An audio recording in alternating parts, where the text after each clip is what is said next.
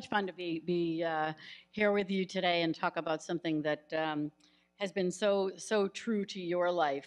Um, and this whole notion of, of do, uh, do more of what you love. And uh, Pop Sugar, for, for those of you who uh, don't know, was founded as, uh, as a kind of a part-time venture uh, in your living room uh, 10 years ago, and it is now a profitable global uh, media and technology company with 500 employees. Yes.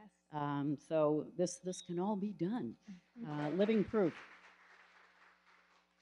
So and Lisa's new book, um, Power Your Happy. Uh, she has generously uh, provided a copy for each of you, um, and they will be in your goodie bag. And it's a really good read. Um, you Yeah. will want to read this book. So, so Lisa, let's just talk a little bit more um, about this notion of do more of what you love, and uh, it's kind of been a rule for you. Um, how has it guided your business decisions over over these past ten years? Yeah, I think um, it, it sounds like very easy advice, but it's not always easy to do. And a lot of us get distracted along the way or feel it's really hard to do that. But along the way, I've always picked up clues of things that I wanted to do that just felt right. And it made working easy and effortless. And I was able to just put my all into it. From a company perspective, you know, Pop Sugar really was based on a hobby. I wanted to teach myself how to write every day. I wanted to write. I didn't know how to start. And, you know, there were a million other places already out there. So I started and I got all this great feedback from the audience. And from there, we've been able to, you know, build upon other verticals that maybe I wasn't uh, as excited about, but other people were. And so hiring great writers and figuring out how to concentrate on things that I love, but also that our audience loved. So we did have to, you know, think beyond just me too. But I would still get really excited to see what people were responding to. So that made me just as happy. And that was feeding more of what I loved. And then I would also say, from a business perspective, we launched something like the Pop Sugar Must Have Box, which um, was not Talk, talk about that in case you're not familiar yeah, with it. So um, this was not part of our original business plan at all when we started the company, and um, you know we wanted to be able to extend the brand into people's homes. So it's a monthly box, a monthly subscription box uh, for forty dollars. you, you were before Birchbox and Barkbox and I everybody think else. They were all they were starting. What ha- the genesis for us was that my kids were getting a craft box, and they were like so excited to do this on the weekends, and I was like, I want my own. So I, didn't want to do crafts though. So um, you know, we wanted fashion, beauty, and so we have a quarterly box for hundred dollars, and we have um, a hundred dollar monthly box. And again, it's doing more of what we love. Like we love telling people about new products that we love and brands that we love. So being able to package this up into a box and send it to you each month, and then being able to experience the surprise and delight that they have when they open it, just makes us even happier. Is that a, sort of your, your hiring philosophy? Do you use that as a screen? I mean, is, is Pop Sugar just full of happy people? I am sometimes told I live in a happy bubble, and I realize that the world is not always so happy, and we can still touch on very serious matters at Pop Sugar, but passion i would say passion is is the number one um, thing that we look for when we're hiring folks so i don't care what it is that you're geeking out about whatever you're coming to look for to do at the company and the job you're being hired for you have to be so into it that when we're having this interview you just like can't stop talking about whatever it is that you're going to be writing or you're going to be building. And um, it, it comes through you know easily for those who really are super passionate about it. So i would say more of the passion which is doing more of what you love. You've grown very rapidly, um, but I understand that you have a number of people who've been with you since since the beginning and, and been there seven, eight, nine, ten years. So something very positive is going on. Yes, we, I mean, we are celebrating our 10 year anniversary this year. And so there are folks who have been with us since the beginning and we put balloons on their chairs and now I'm like, oh, there's another one. It's so, it's so amazing to have people um, grow up with us really too. I mean, you never know when you hire somebody in their early 20s if they're going to stay with you, you know, as long as they have. And so we've forged some really great leaders within the company and people I really like staying with us because their jobs have changed so much. They've learned so many new skills. It They doesn't didn't have seem to like leave, the same so, job. yeah. Yeah, they continue to keep growing and learning within the company. So if they're happy and they like the culture, then they want to stay.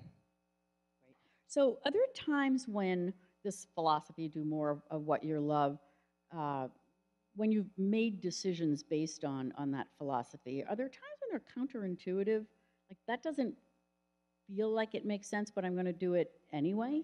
Yeah, I think um, I, well, I talk a lot in the book about playing nice, and you know, there's definitely a lot of companies out there that do play dirty, and I think for us, you know, we know we could do some of the tricks and things that other companies are doing, whether, you know, it's buying traffic or rolling up numbers. And if you really tear behind the scenes, you can see that they're not what they say they are. And Pop Sugar does not do that. So I think staying strong on your beliefs of, you know, playing nice. And I, I believe in karma. So I, a lot of these companies actually have already gone out of business or starting to go out of business, or people are starting to see that it's they're not what they seem. And you won't find that with us.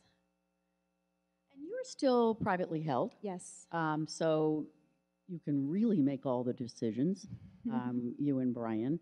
And um, I think that's a, a privilege. yeah, Um, absolutely. So, um, so you have a, a, a process, I guess it is, the start small, get feedback, uh, course correct. Um, You talk about this in, in the book. Can you, can you tell the audience a little bit about that? Yeah, absolutely. When I started Pop Sugar, I didn't just quit my job and start getting on a computer and writing 24 7. The first thing I did, I was actually working in advertising and I, I wrote in the morning before I went to work. I took a lunch break and I would write stories. And when I got back home again, and I think it's important to know that, you know, it's really hard to find the right time to maybe start the side project. But if you can start setting, setting small goals for yourself, you feel really great when you then can kind of knock it off your list. You've accomplished it.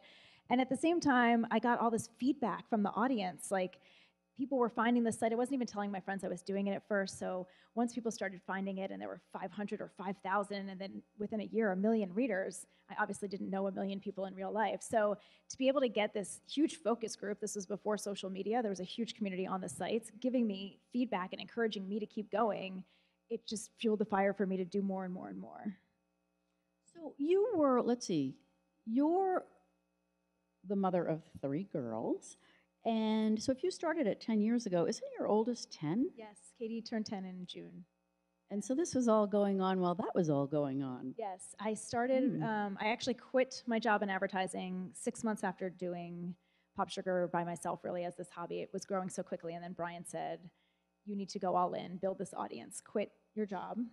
And at that point, I found out I was pregnant, so I was like, "Great." Good timing, um, but it kept it kept growing and growing, and then Brian actually joined me in April of 06. And then the first day of training at our house with our first six employees, I actually went into labor with my daughter two weeks early. Love that. Yeah. Rapid iteration. You talk about that in, in the book. Could you, could you tell the audience what you mean by that and sort of how did that fit into the process of, of building Pop Sugar?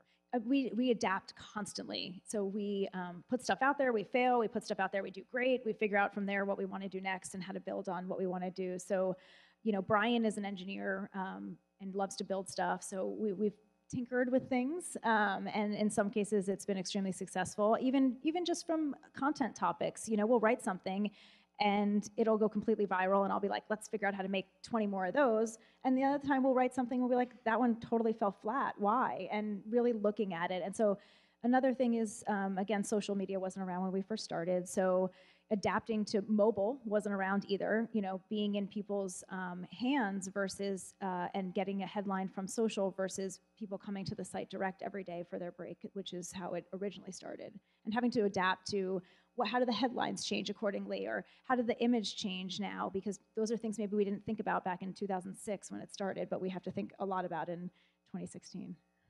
So you, you have, as trusted advisors, a huge audience. Um, but offline, who, Yeah. who are your trusted advisors and um, how has their feedback helped you course correct along the way?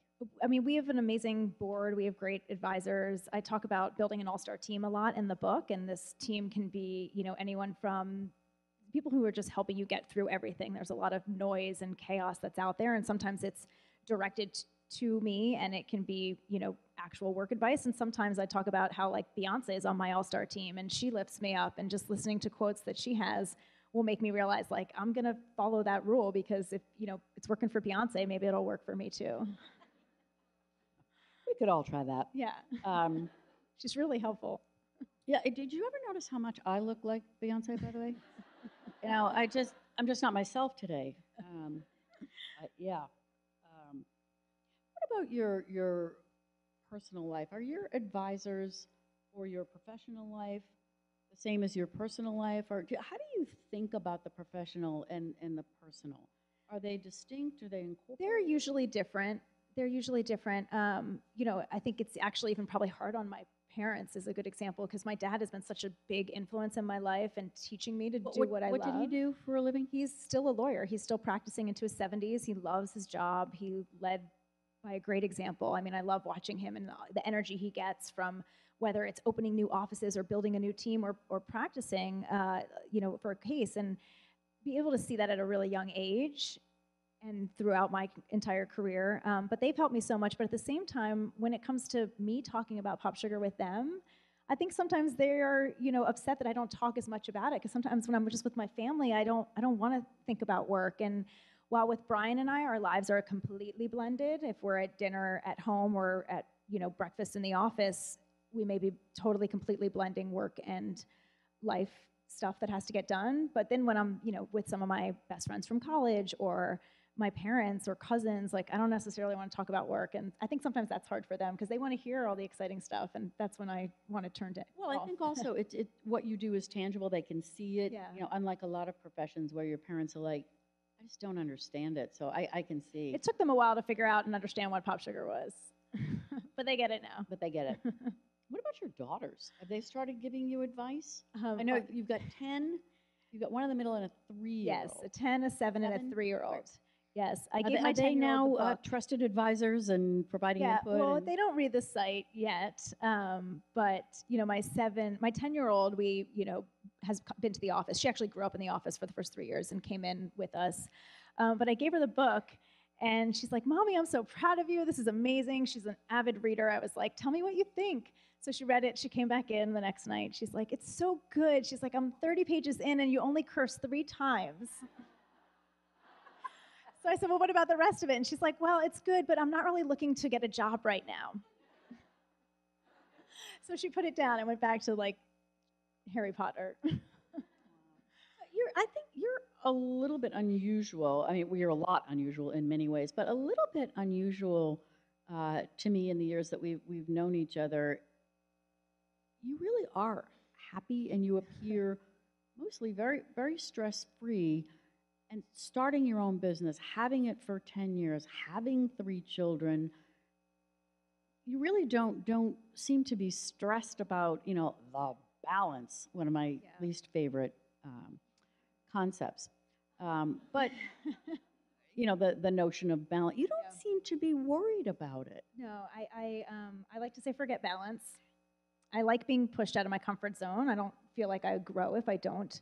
Um, Brian very much likes to be unbalanced. Anytime anything is somewhat balanced, he wants like another kid, or now he wants a puppy, which he's, we're not getting. he is so i think he's so great He is great. And that's part of it too. I mean, I really have such an amazing team. And there are people when I am super stressed out, I've learned when to say no. I know when to ask for help.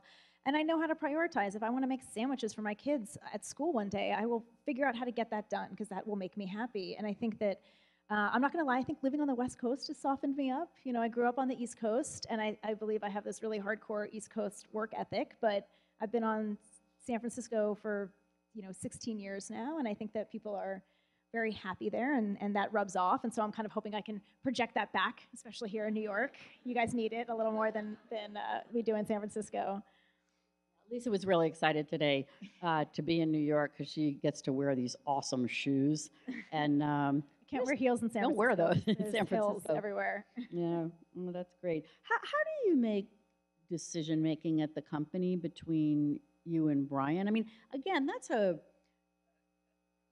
that's an assignment I'm not sure everyone would volunteer uh, to do. Work with your spouse yes every day, every night. How divide the decision making? i mean we we it is pretty clear um, I, You just decide everything and I- tell I him that. Yeah, you're. I mean, Brian said it. Like Brian clearly uh, is advanced in his Yes. thinking. Uh, no, he jokes around. I clearly found her number one. Um, but he he's great. He's totally supportive. I mean, I really am on the content side of stuff. And while I do think about you know global expansion for us and new things that we want to invest in, you know, he really um, handles more of the business side. He's actually really great with design. Um, so he thinks more about site layout and you, you know but for the most part we do a lot of stuff together uh, you know especially if it's new hires that are really important to the team and you know we just we we are opposites in many ways, but in things that don't necessarily matter. Like he likes spicy food and I like sweet food. So like that doesn't matter for work, right? So from a work perspective, we are attracted to the same types of people that we want to work with. We see the value in other people that we know we'll learn from. And I think that we've been lucky enough to have a lot in common in that sense. And it hasn't, the hardest thing for us really is figuring out what's for dinner.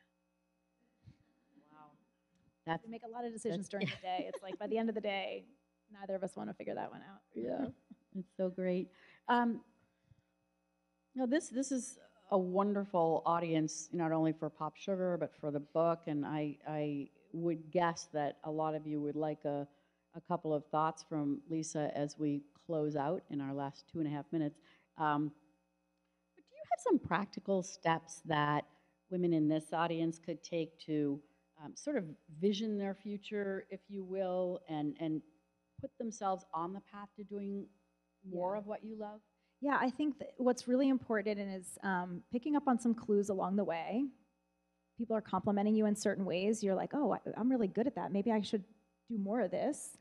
Um, and I think that you really have to start small. And that is one of the big things like really taking your time, starting small, setting those small goals, finding your all star team. I think it's really important to know you shouldn't do things alone. People do want to help each other out. And there's a lot of really amazing people who probably want to help you and have information and advice that they can help with.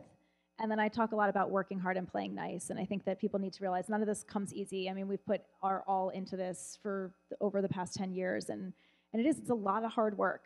Um, but it's, it's been really great for us, and we've been playing nice along the way, and that's only helped us, you know, create more partnerships, hire really great people, and create a company culture that we're really proud of. And, and you should be. you. Congratulations on all of it. Thank you. Good luck with the book. Enjoy you the so book. much. It really is Thank terrific. you.